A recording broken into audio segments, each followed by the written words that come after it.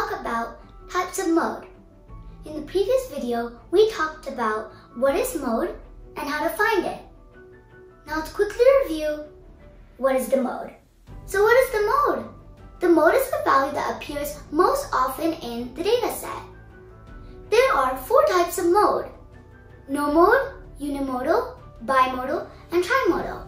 Let's first begin with no mode. Here we have a data set. We have numbers 1, 2, 3, 4, 6, 8, and 9. Here we have a frequency table. Here you can see that all the numbers appear only once in this data set. That is why there is no mode in this data set. Now let's move on and talk about unimodal. Here we have a data set. In the data set, we have numbers 1, 2, 3, 3, 6, 7, and 8.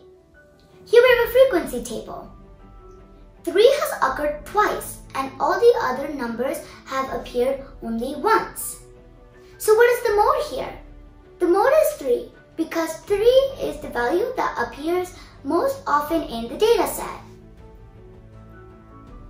That is why this data set has one mode, and that is 3.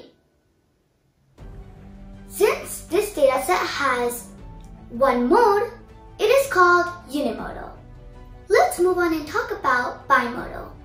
Here we have a data set. In the data set, we have numbers 1, 1, 2, 4, 4, 5, and 6. Here we have a frequency table. If you see, 1 and 4 have appeared twice and all the other numbers have appeared once. So what is the mode here? It is 1 and 4 because those two numbers have appeared most often in this data set. And that is why this data set has two modes and those are 1 and 4. Since this data set has two modes, it is called bimodal. Now let's move on and talk about trimodal. Here we have a data set. In the data set, numbers 1, 1, 2, 3, 3, 5, and 5. Here we have a frequency table. 1, 3, and 5 have appeared twice in the table, and 2 has appeared only once.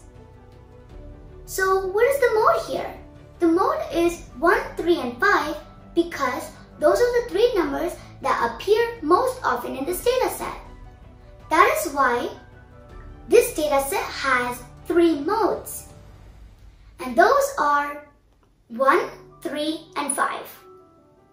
Since we have three modes, we call this trimodal. There's something to remember here. If your data set has more than one mode, it is called multimodal. Alright, Let's review what we learned today. We briefly talked about what is mode, and we saw different types of mode. No mode, unimodal, bimodal, and trimodal. In no mode, there was no mode at all. In unimodal, we had one mode.